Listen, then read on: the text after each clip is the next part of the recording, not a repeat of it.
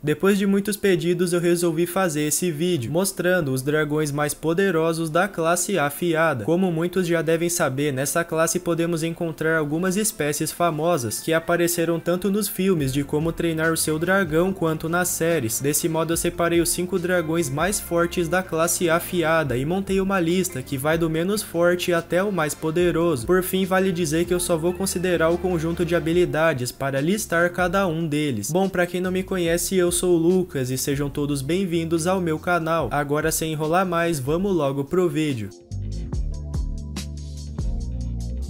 Antes de começar a lista, vamos relembrar um pouco a classe afiada. Para quem não lembra, nesse agrupamento se encontram as espécies mais vaidosas de todo esse universo. Inclusive, todos que estão nessa classe possuem algum envolvimento com espinhos ou lâminas, possuindo uma certa maestria em disparar ou cortar objetos. Vale ressaltar que na classe afiada nós observamos um comportamento diferente da maioria, pois os dragões daqui geralmente são mais amigáveis e adoram ser elogiados. No entanto, eles continuam sendo criaturas criaturas potencialmente nocivas que escondem um grande poder. Sendo assim, acho que todos conseguiram lembrar um pouco, então agora vamos para a lista.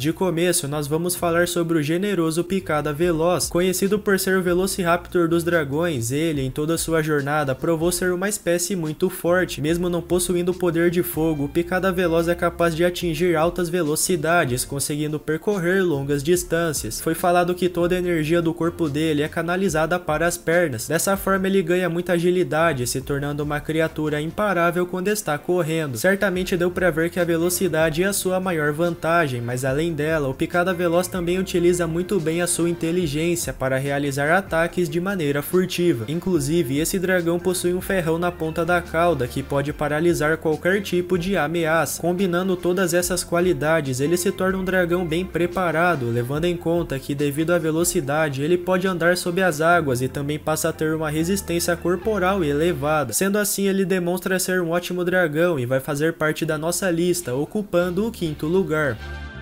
Seguindo com o próximo, nós temos o famoso Nader Mortal. Esse dragão é um dos mais conhecidos de toda a franquia. Na verdade, ele pode ser considerado até mesmo o dragão mais famoso de todos, dividindo essa posição com o Banguela. Mas antes de falar sobre ele, eu quero avisar vocês que o Nader não pertence mais à classe afiada. Sim, pessoal, a espécie pertence agora à classe rastreadora. Porém, eu vou colocar ele nessa lista como forma de consideração. Afinal, por muito tempo, ele foi o dragão que representou a classe afiada. Só de olhar dá para perceber que o símbolo dessa classe foi inspirado nele, mas com o avanço da série e dos filmes decidiram transferir o Nader Mortal para a classe rastreadora. Certamente isso quase ninguém sabe, embora eu já tenha falado sobre isso. Bom, o Nader Mortal, como muitos sabem, possui a incrível capacidade de disparar espinhos através da cauda. Ele é muito inteligente e possui uma cauda pêncil, conseguindo realizar manobras e ataques com precisão. De acordo com os vikings, o Nader possui o fogo mais quente e tem uma chama formada através do magnésio que pode derreter tudo e todos que entrar em seu caminho. Ele é muito rápido e tem sentidos apurados, podendo identificar uma ameaça a metros de distância, explicando por que ele foi transferido para a classe rastreadora. Enfim, o Nader Mortal é muito forte e se ele ainda fizesse parte dessa classe, iria ocupar o quarto lugar da nossa lista. Continuando com o próximo, nós chegamos ao Machadrago. Ele é um dos meus preferidos e mesmo não aparecendo muitas vezes, provou ter um conjunto de habilidades preparado. Foi falado que o seu par de asas pode cortar grandes árvores, atuando como um machado gigante, dando origem ao nome dele. Bom, esse dragão tem duas garras em forma de gancho em cada asa, que são usados para ataque e defesa. Além de cortar tudo pelo caminho, ele é capaz de voar por longos períodos, planando no ar com tranquilidade. Inclusive, o Machadrago é muito rápido e ágil e consegue usar muito bem o par de asas para se proteger das ameaças. Dizem que ele é um dragão amigável, mas não se engane, pois ao ser incomodado pode facilmente cortar seu inimigo ao meio. Por mais que ele não tenha pernas, o Machadrago possui um grande poder de fogo e ao combinar suas habilidades passa a ter uma vantagem especial. Desse modo ele vai ocupar o terceiro lugar da nossa lista.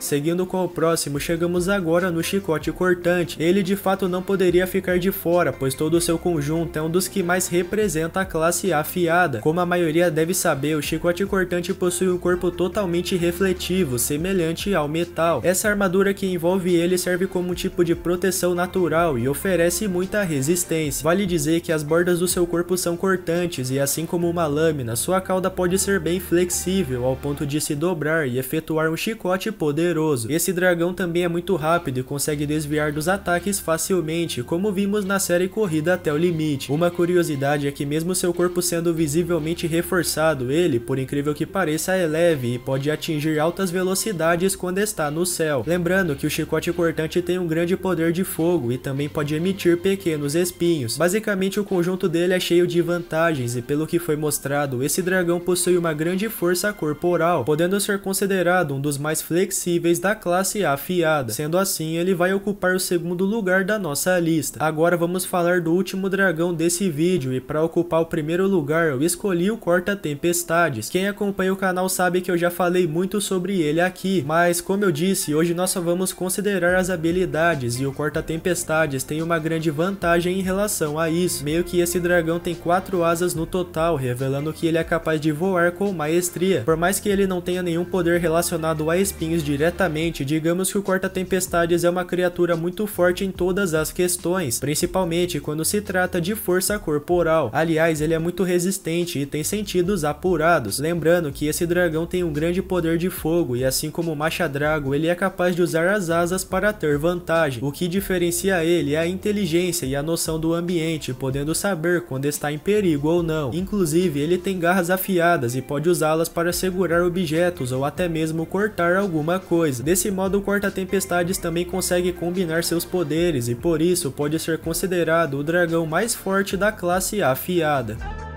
Bom pessoal, eu vou ficando por aqui. Espero que tenham gostado desse top 5 e antes de mais nada, escreve aí nos comentários qual dragão da classe afiada você acha mais legal. Se você gostou, não esquece de deixar o like, de se inscrever no canal e ativar junto o sininho das notificações para não perder nenhuma novidade. Para quem quiser, o meu Instagram vai estar tá aí na tela agora e aqui na descrição eu vou deixar o link do Seja Membro junto com o meu servidor lá no Discord. Até o momento é isso, muito obrigado por me assistir. Eu desejo a todos uma ótima semana semana, fiquem com Deus e nós nos vemos no próximo vídeo. Tchau!